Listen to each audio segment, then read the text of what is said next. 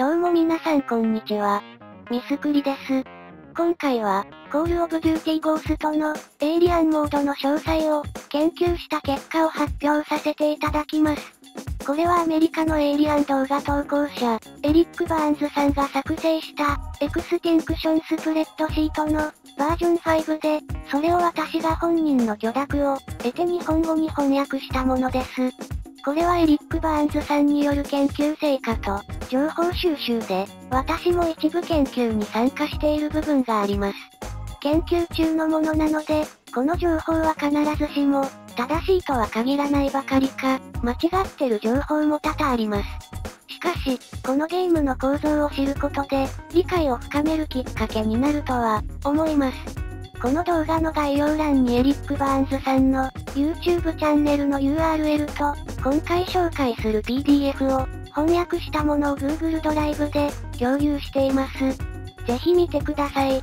翻訳にぎわして、私は英語がネイティブではないため Google 翻訳を使用しましたが、著者に問い合わせても意味がわからずに翻訳しきれていない部分が多々あります。主に備考欄。また、翻訳の都合で目次のページ数がずれてしまい、正確に示されていないので、ご注意ください。そして、今回紹介するグリッチは時と、場合をわきまえないと、一緒に遊ぶプレイヤーへの、迷惑になる場合があるので、気をつけてください。グリッチは主にソロ、もしくはグリッチの使用を認めている仲間内など、周囲の空気を読んで使用してください。では、スプレッドシートの解説に入ります。まず最初に紹介するのは、画面右半分に掲載した敵エイリアンの体力です。上半分はデータマインと呼ばれるゲームのデータを解析して得られた数値です。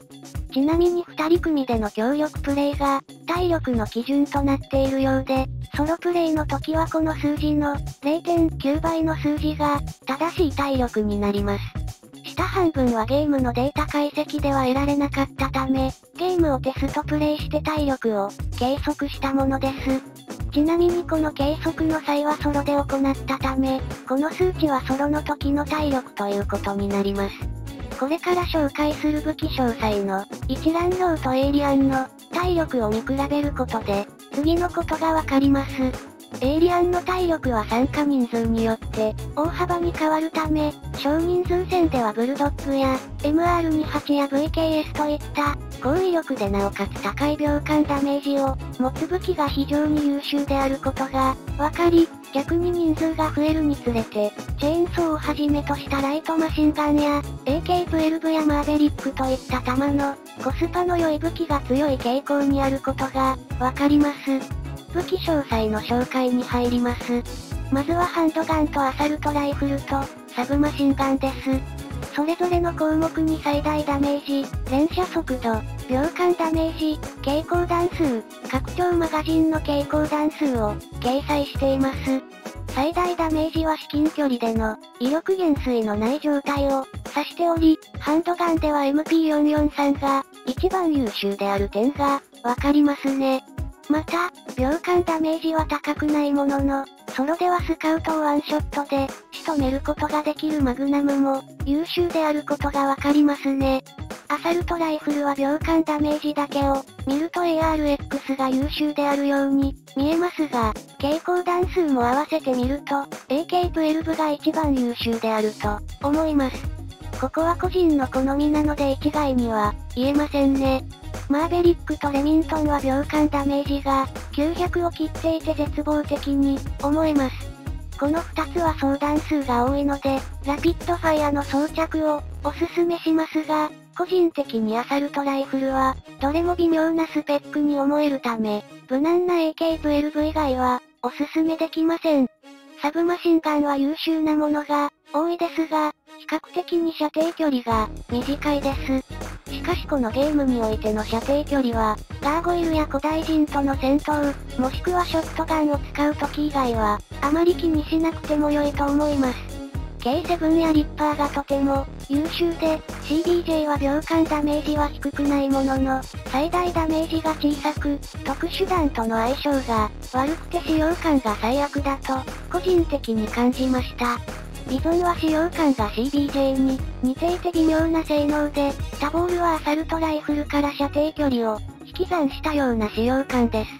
この2つ離るべく使わない方が無難ですね。ライトマシンガンはどれも蛍光弾数が優秀で、特にチェーンソーはおすすめです。リロード速度のことを考えると、M27 も優秀です。マークスマンライフルは MR28 のみ仲間外れのような性能になっており、やや VKS に近いです。ただセミオートであるため、必ずしもこの秒間ダメージの性能を引き出せるとは限らず、使用者の技量が試されると言っても過言ではありません。少人数戦において MR28 は優秀で、その他の武器も全体的に優秀です。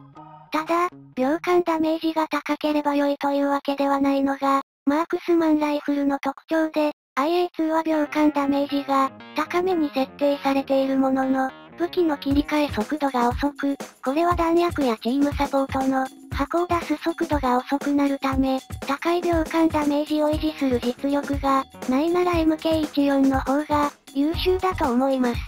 また、SVU は Nightfall にしか登場しない武器なのにもかかわらず、マップやボス戦との相性が悪いため避けた方が無難です。スナイパーライフルは VKS のみが抜きんでて優秀で、他の2つは使い物になりません。ただ、一発の弾丸のダメージの高さのみは優秀で、アークとクリスレ弾を併用すると、ワンショットで中型のエイリアンを仕留めることができたり、アークスタン弾の効果で命中した敵の周囲の敵もまとめてキルできます。ショットガンは射程距離が絶望的なため、射程距離を伸ばすためにマズルブレーキやアークを装着することをおすすめします。また、ショットガンで炸裂弾やグリスレ弾を使用すると、3弾ではなく一発の弾に、威力が集約される特性があり、集弾率も3弾の頃から改善されないため、ショットガンの使用時は焼夷弾の使用がおすすめです。ショットガンの中ではセミオートで、発射できるブルドッグや MTS が優秀で、ポンプアクションのタック12と FP6 の2つは使い物になりません。ブルドッグはソロであれば古代人を瞬殺できるポテンシャルを秘めており、MTS はブリーダーを瞬殺することができます。タック12はエクソダスとアウェイキニングのみに登場し、アウェイキニングでは射程の短さが致命的で、エクソダスでは完全にブルドッグの介護官です。FP6 は武器チャレンジでいやいや、使うくらいでしか活躍の機会がなく、この武器の未拡張マガジンが装着できないのも大きな欠点です。備考欄について。掲載順は秒間ダメージ順に並べただけです。バーストのハンドガン、M9A1 のバースト内の連射速度は和間750発。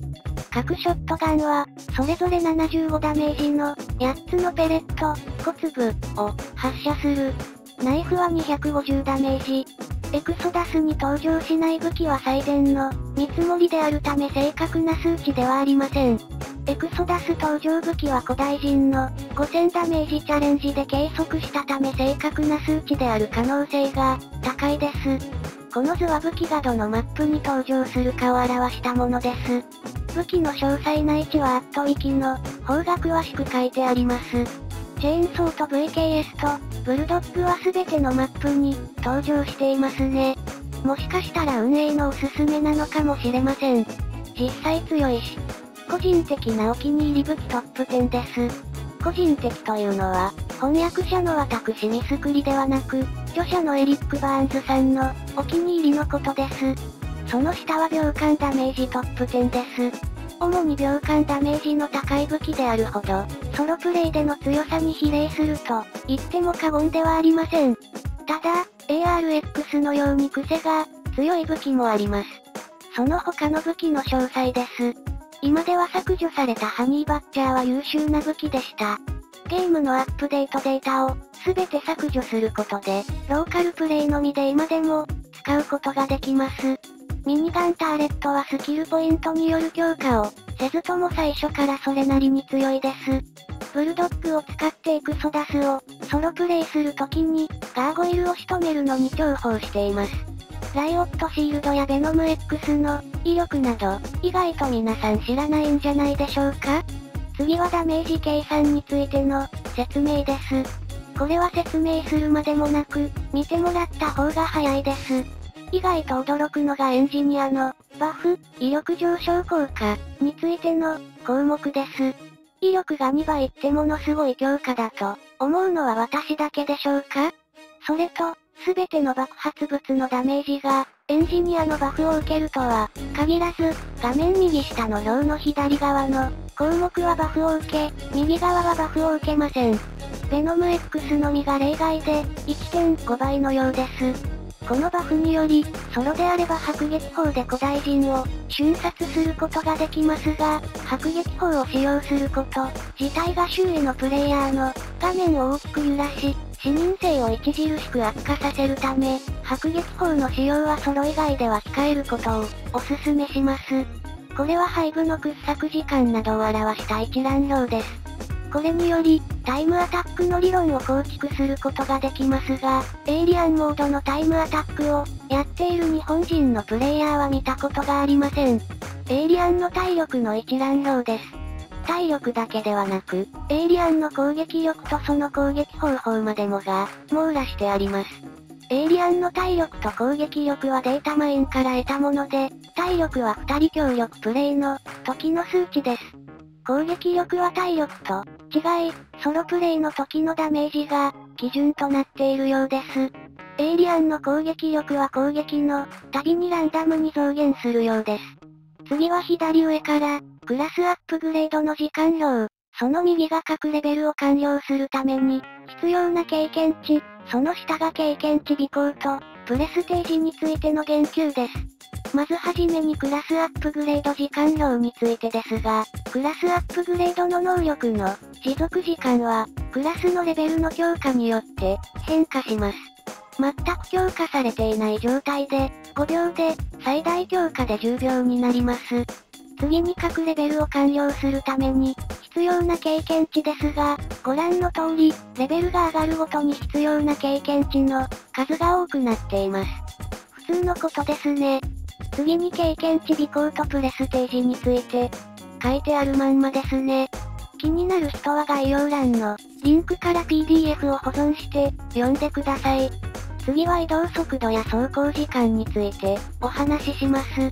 走行時間、歩行速度、走行速度に関しては上の3つの表を見ていただければ簡単にわかります。速度の増減はダメージ計算の時と同じく掛け算によって導き出されます。左下の表は色々と名称を訳しています。P がピストルを意味し、ハンドガンのことを指します。M はメディック、F は互換ブースト、SYG はスタンドユアグラウンドを指します。移動速度の計算において、注目すべきことは、互換ブースト1を使用すると、他の移動速度と走行時間を上昇させる効果を上書きしてしまうという点です。ただし、ハンドガン1のみは上書きしません。つまり、ハンドガン1と互換ブースト1の組み合わせが通常の1.32倍になり最速ということになります。また、移動速度が低下するスタンドユアグラウンドのレリックを使用していても、互換ブーストが効果をかき消してくれるので、最速の1.32倍に到達します。これ以降の解説は、書いてあることを読むだけになってしまい、説明することはありません。ただ、ここで終わるのも中途半端なので、私が理解できる範囲で、わかりやすく要約します。また、これ以降の解説は正直に、一定意味不明なものが多く、著者に直接連絡してもぶっちゃけ意味不明でした。ごめんなさい。一応可能な範囲で翻訳しました。本人が英語で解説した動画のリンクも一応貼っておくので、英語でも構わないという方は、そちらを見た方がいいです。では始めます。威力減衰について。敵が遠いほど、命中した時の威力が、落ちます。マズルブレーキは射程距離を、20%増加します。アークは威力が1.34倍に、増加するだけでなく、射程距離を劇的に増加させます。アークによる射程距離の増加は武器ごとに異なり、最小ダメージは約1.5倍、最大ダメージの範囲は約1.75倍になります。ここの目次は翻訳の都合で、合わなくなっています。ボス戦について、バリアハイブ。アークのバフはバリアハイブには、適用されないです。ブリーダー。秒間ダメージが高すぎる武器だと、ダウンさせた時の腹の弱点よりも、頭を狙った方が大きなダメージを与えられます。クラーケン。触手は1万9600以上のダメージを受けて、登場開始から30秒経過すると、逃げます。クラーケンの最終戦は4回に分けられますが、それぞれ20%、25%、25%、30%の配分で体力を削るらしいです。古代人。古代人の弱点である頭に攻撃を当てると1.2倍のダメージが入ります。しかし、デスマシーンと MK32 には適用されません。スナイパーライフルで古代人の弱点を撃つと、約1.38倍のダメージが入ります。ある程度のダメージが入ると、古代人はバリアを張ります。NX1 Disruptor か、NX1 グレネードで、バリアを破壊すると、その後10秒間古代人はバリアを張れません。メデューサ戦では約4分ごとに、3回までスキルポイントが、1つ付与されます。武器の切り替え順？武器のローテーションの順番は、武器を入手した順番です。ここの説明はぶっちゃけ意味不明です。誰か解読してくれ。獲得金額計算。ポイコンでは、第3エリア以降の収入は1.3倍になる。メイデイの第3エリアからクラーケン戦の前半まで収入が0.5倍になる。ナイトフォールの第2エリアに到達すると、収入が0.5倍になっていたが、難易度が高すぎるためか削除された。特殊弾。焼夷弾は32ダメージを6回与え、1発で合計132ダメージになる。高品質焼夷弾の効果は、焼夷ダメージのみが1.2倍になる。ショットガンは一度に8発発射するが、焼夷ダメージは1発分のみ。銃に焼夷弾を装填すると、グレネードとディスラプターにも、焼夷効果が付与される。ハイグレード AP 弾は、エイリアンの装甲に当たった場合のみ1.1倍になる。銃に AP 弾を装填すると、ナイフも AP 仕様になる。炸裂弾は通常の1.1倍のダメージ。ただしウェポンスペシャリストの20%及び50%のバフを無効化する。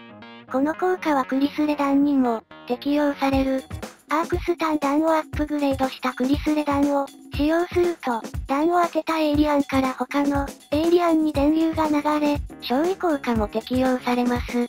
この電流は以外にも大きなダメージを与えるかもしれない。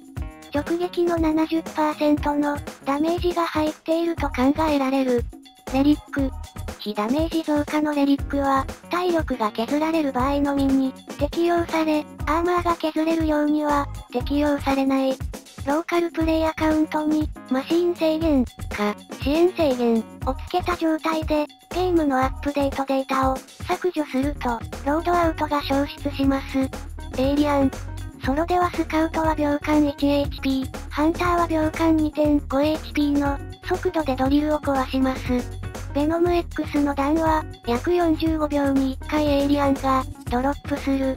ドリル付近に置いたビーベテや、クレイモアをスコーピオンやライノが、誘爆すると、ドリルに大きなダメージを与える。メディック3の効果でスコーピオンの、ガスのダメージを、食らわなくなるが、シーダーの出すガスのダメージも食らわなくなる。協力プレイでは、参加人数とともにエイリアンの体力が増加する。ソロでは0.9倍、3人では約1.3倍、4人では1.8倍。は。ハードコアをクリアで3波、クリア時のレリック1つにつき1波、最大3つまで、クリア回数0回をクリアさせると、1波手にいる。葉稼ぎで一番重要なのは、チャレンジを完遂すること。あんまりサーチやりすぎると葉稼ぎの効率落ちるよ。放置したまま歯を無限に稼げるグリッチがあるよ。その説明の動画も PDF 内の URL になるよ。英語版だけど、ウルトラハードコアというエリック・バーンズさんが自分で考案した難易度があるよ。スピードテック、プレスクエア、ドリルの修理が不要な状態で、ドリルの前で背部掘削終了直前に、四角ボタンを長押ししたままにすると、最速でドリルを拾えるよ。スプラント。ごめんこれ意味わからん。ドリル所持状態の移動速度。ドリルを持つと、ハンドガン1の効果は消える。5巻ブースト積み重ね。チームブースターの箱を複数投げて、持続時間を増やすのと同じように、互換ブーストの箱を複数投げて、最大30秒持続時間を増やせるらしい。知らんけど、クイックボックス、ウェポンスペシャリスト1かもしくは、チームブースターを使うと、箱を出す直前に三角ボタンを押すと、めっちゃ早く箱が出せるテクニックがあるよ。ソロかホストじゃないとうまくいかないよ。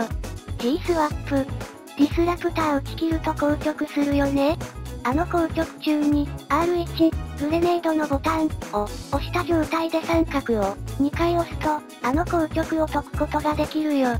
グレネード持ってないとできないけどね。グリッチ。ボイコンの第2エリア屋上からストレーフジャンプをすると背部の上に乗れるよ。LOL のイースターエッグの最中に互換ブーストを使うと、ウォールハック効果が続くよ。ボイコンの第2エリアと第3エリアの中間の柵にターレットを設置すると、脱出を早められるグリッチがあるよ。